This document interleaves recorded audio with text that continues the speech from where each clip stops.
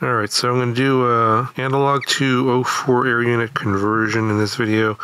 And I try to pick a build that's kind of a typical analog build to give you an idea of what the process is like to switch over. And this is the uh, O4 air unit Lite with uh, the Beta FPV um, dampening mount.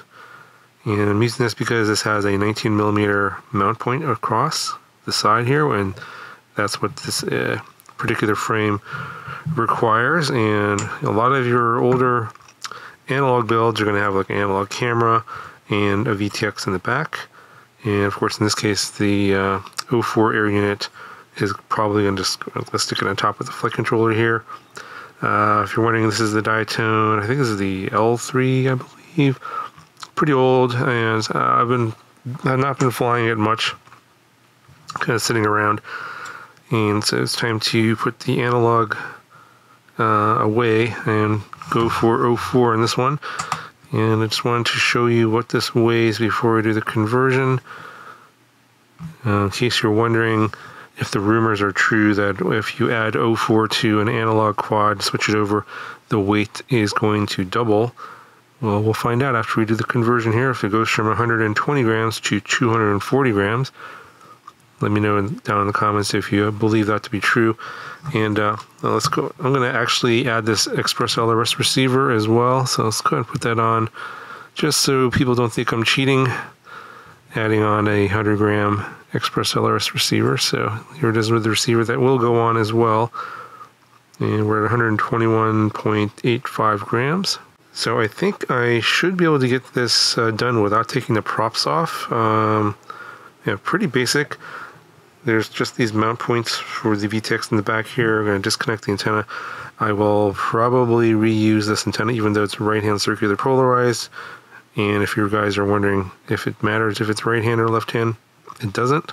And I'll show that you'll get plenty of video in range, no problem. You'll see that later on. And obviously take off the camera. Remove the top plate, of course. Um, yeah, I'm gonna have to probably re rewire this because it's all wired for analog, and we'll talk about that after I get this top plate off. All right, so here's what it looks like with the top plate off. I'm probably gonna keep this plastic TPU part here, uh, 3D print part, and stick the receiver in here. That's what that's actually meant for. It's probably gonna make the removing of the VTX a little bit tricky. I not sure. So like, I'm gonna keep this here. This is for the receiver. That's on UART one. I think this is gonna be, even though it's for the VTX, this might work for the air unit. So I might keep these. These three are definitely for analog, the analog camera here. So I'm gonna get rid of that. I'm gonna actually just um, desolder those three wires there. And I'm gonna have to find a wiring diagram for this old Diatone board's uh, F411 based uh, flight controller. But yeah, just take the uh, camera out, take the VTX out, and we'll see what that looks like after those are out. Alright, so I had to make a few changes to how I was going to put this together. I was hoping it would be a little more simpler, but um, there's not a lot of space between the flight controller and the air unit it's going to sit on top of here. There's a little bit of space, so I had to remove the wiring that was here for the other receiver. So I'm not going to use this receiver that came with this little plug. And uh, just there's just too many cables and it just I couldn't get everything to fit. So I'm not going to use that and I decided to uh, put in a smaller receiver here. It's one with a ceramic antenna. And I made the wires nice and flat here and taped it down so that they wouldn't vibrate because it's pretty close to the uh, gyro. And then another problem that you're probably going to experience with a lot of older analog builds, like this one here, is it does not have an adequate 5 volt regulator. It's 5 volts and 2 amps. It's not going to be enough. You will have brownouts. Um, so I added a 9 volt regulator down here. This is one of these um, Matek uh, BECs that's uh, switchable between 9 volts and 5 volts. And you have to solder a bridge here to make it 9 volts and will go up to 1.5 amps, which is enough to power the uh, O4 air unit, which is a 9 watt power draw at max power. And I had to uh, remove the uh, VTX wiring for the analog VTX because obviously this is a totally different setup for DJI. And I did um, uh, wire up my UART connection here in UART2. This uh, the uh, Express LRS receiver is on UART1, and then this is that plug that's going to go into the air unit here on the side. Uh, so, so basically, uh, at this point, yeah. So what we have here is we have the battery power. At, basically, this is going to be 4S. And um, if I ran the battery power straight to the air unit, that would fry the air unit. So you don't want to do that. That's why I have the uh, BEC. So I have the power coming from the battery. I have a solder there, and I have some wires going to the BEC. There's an input on the other side, It's a little hard to see under the capacitor. And that's going to put in, so it's like on this particular BEC, it's 6 to 30 volts, and then 9 volts out. On these two wires here, they go to the air unit. So you're going to have this problem on some of these older analog builds that don't have a 9 volt uh, or 10 volt BEC for DJI. A lot of them don't, like these older ones. And so you'll have to come up with your own BEC solution. I'll put a link in the description to this Matek BEC. Pretty easy to pick up. I think they come in a three pack and it's not too expensive. Um, obviously, if you have a board that has a DJI plug or has a 9 volt BEC, then you just wire it directly to that 9 volt BEC pad and then you're good to go.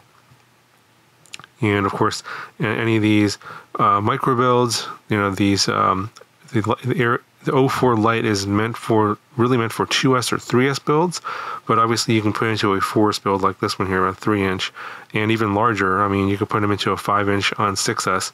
You just have to make sure you have either the onboard 9 volt BEC or you have to add your own BEC.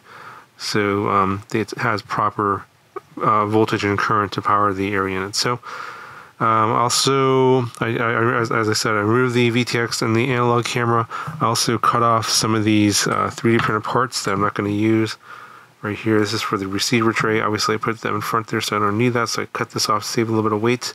I am still going to use the antenna mount here for the existing antenna.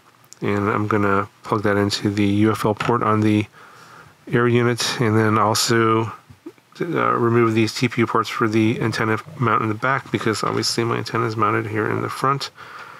So at this point, it's going to be pretty simple. Just mount the air unit here, put the nuts on to secure it, plug it in, um, uh, mount the antenna here, plug in the antenna, and then mount the camera. And I did have to remove the standoff here in the front because it was I saw it was interfering. So that's this right here and the screws. I will um, add those back in at the end to show you what uh, I removed so you can have a more fair comparison on the weight. But yeah, I'll go ahead and mount the parts in here before I put the top plate on. I'll show you what it looks like. Alright, so we got the antenna installed and plugged in, air unit mounted, and I know, I, I, I, didn't really want to try and find some longer screws. I probably could have. There's there's space above here, so it's possible to do that. I just wanted to make this as low profile as possible. And yeah, there's very little room there between the air unit and the flight controller, so hopefully we won't have any vibration issues. Um, I have the uh, camera in the mounted here in the front here with the soft mounting and it's in the front screw here and I did check that these standoffs are camera cage is not in the video. Uh, we'll have to see how it handles the vibrations. This is a much more powerful setup than uh, I had this on previously, like a 1S setup or 2S setup. So going to be 4S, a lot more vibrations. We'll see how this handles it. I try to route the cable so that it's only touching right here. So we'll see what happens with that. But let's go ahead and put the top plate back on and we'll put the, um, we'll do a final weight measurement. Alright, so here it is all together, top plate on. Pretty clean build actually. Then that camera cable isn't touching the top plate, so camera should be nicely floating in here, but we'll see if we get any jello in this setup or not. Um, yeah, pretty simple to do overall. And here is what it weighs. 118.62. Uh, put the parts that I took off back on, including the standoff. 122.6. So went up a couple grams. Yeah, so at this point, it's going to go ahead and go for a flight, and we'll talk about how it flies during the flight footage. All right, so here's the uh, flight footage from the uh, Roma L3. And as expected, this uh, camera mount from Beta FPV, while it's supposed to reduce vibrations, it still isn't able to eliminate all of them. So you're able to see, still see some. I did have a couple videos already on uh, the Jello problems. I will be talking about that some more in a future video, but on this one, of course, this is going to pretty much conclude this one here. But do want to show that it is working. Everything is working fine. The BEC is working fine. I'm getting video. No issues running this on 4S. And I think just basically I need to just create a TPU mount for the uh, camera module and just remount it. And I think that'll solve all the problems. Um, there's a lot of them on Thingiverse. So if you're wondering where you can pick those up, I have been noticing a lot of them showing up on Thingiverse. And there's also ones on Cults 3D although um, some of those on Cults 3D uh, do cost a little bit of money. Usually, it's like a dollar or less than a dollar to pick up a print or an STL file if you're looking for the a little bit nicer ones. The, the ones on Cults 3D are a little bit more refined versus the ones that are free on Thingiverse. So, anyway, um, you can see flight footage here, just kind of cruising around.